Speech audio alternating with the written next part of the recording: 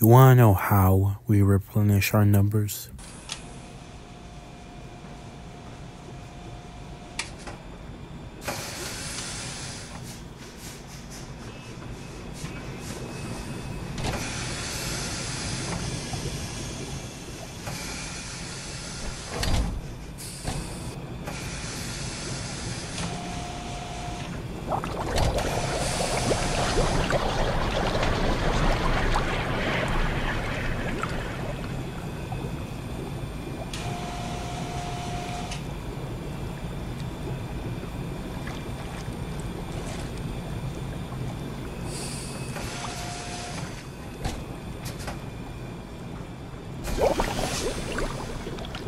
Hey there.